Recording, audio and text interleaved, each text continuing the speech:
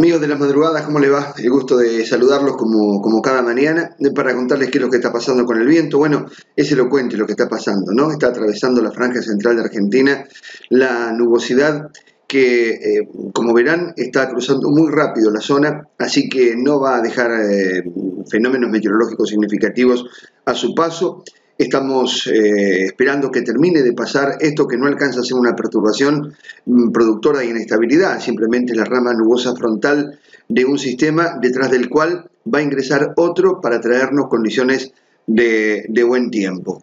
¿Qué es lo que se puede ver en los mapas pronosticados para los próximos días?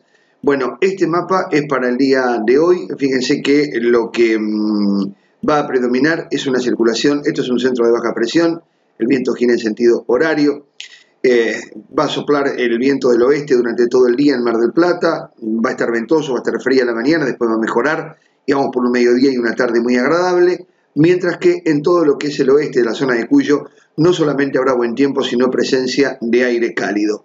En los próximos días, en los próximos días lo que observamos es la continuidad de esta situación de tiempo bueno, con presencia de poca nubosidad y de temperaturas eh, que van a ser mm, bastante distintas la mañana respecto de la noche. Eh, el sábado esperamos que Mar del Plata se mantenga con vientos del sector oeste. Fíjense que no ha cambiado el patrón de circulación, un sistema de alta presión sobre el sur de Brasil, un centro de baja presión sobre Malvinas, entre los dos generando circulación del sector oeste.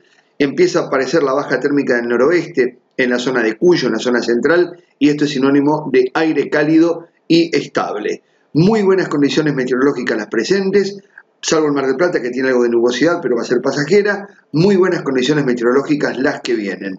Ojo con la semana que viene. Ojo con la semana que viene, provincia de Buenos Aires, sur del litoral, parte de Cuyo, ahí estaríamos con un pequeño problemita, un proceso de ciclogénesis y una situación de inestabilidad que merece consideración.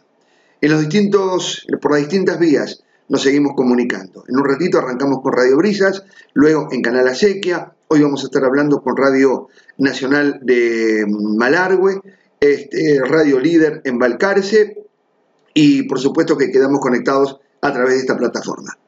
Eh, anótense en el curso, va a estar bueno, no se lo pierdan. Hasta cualquier momento.